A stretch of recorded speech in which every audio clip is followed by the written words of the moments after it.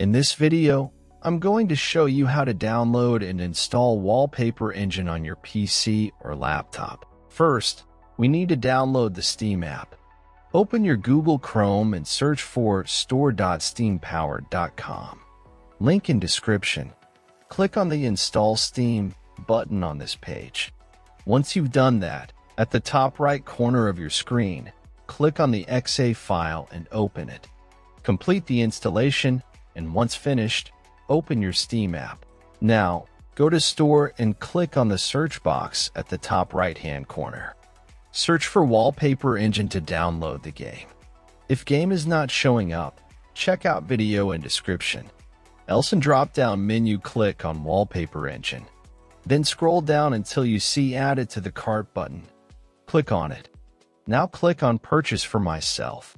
Set up your payment method and you're good to go. After completing the purchase, go to your library. You can use the search box to find game you just bought or navigate directly to the games category. Next step I will show on Game I Own.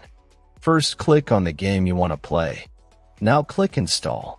Complete installation process. When installation completed, click to play. And that's all. Thank for watching, subscribe and help reach 1000 subscribers mark so I can make more tutorials.